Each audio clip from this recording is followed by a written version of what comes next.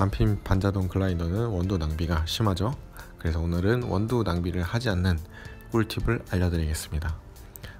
매장에 플라스틱 컵 다들 있으시죠? 그 아무 컵이나 이용하시면 되고요. 반을 쓸 겁니다. 이 반, 반에 면을 쓸 거기 때문에 양쪽 끝을 잘 잘라주시고 이렇게 위에를 잘라내고 아래쪽도 잘 잘라주시면 됩니다. 자르실 땐 항상 손 조심. 요 면을 쓸 거거든요. 종이컵에 이 면, 플라스틱 컵이죠.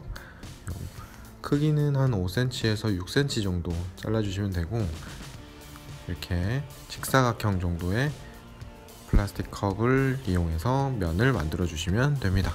자, 이런 면 그리고 살짝 부채 모양을 만들어 줄 건데 이렇게 동그랗게 접을 거거든요.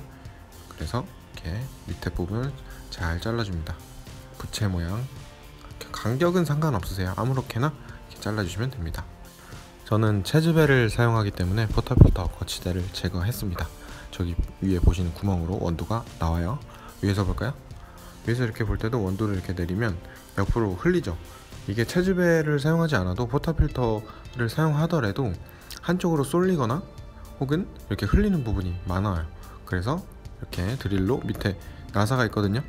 이렇게 두 군데만 이렇게 풀어줍니다.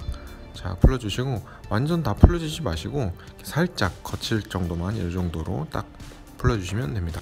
그리고 아까 플라스틱 잘랐던 거를 위에만 살짝 접어주시고 저 부분에 홈이 있어요. 나사를 풀었잖아요. 그리고 홈이 살짝 생기거든요. 거기에 플라스틱을 잘 맞춰서 껴줍니다. 그리고 다시 나사를 조여주면 됩니다. 자 빨리 껴라. 자 나사를 이렇게 찍찍 해주면 그리고 각을 잘 맞춰줍니다. 저으로 나오니까. 플라스틱 컵을 잘라서 저 홈에 고정을 시켜주시면 원두가 어디서 흘러나오는지 이제 잘 확인할 수 있겠죠? 포터필터에도 담을 때도 한쪽으로 쏠림 없이 중앙으로 원두를 내릴 수가 있습니다. 자 위에서 볼까요?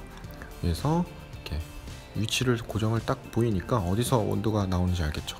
저렇게 한쪽으로 쏠리지 않고 원두를 내릴 수 있습니다 자 아까는 어땠죠? 아까는 저게 없을 때는 대충 감으로 잡았잖아요 그래서 이렇게 많이 낭비가 됐어요 근데 지금은 이렇게 촉촉촉 나오죠? 지금까지 카페한 오빠 카오빠였습니다 감사합니다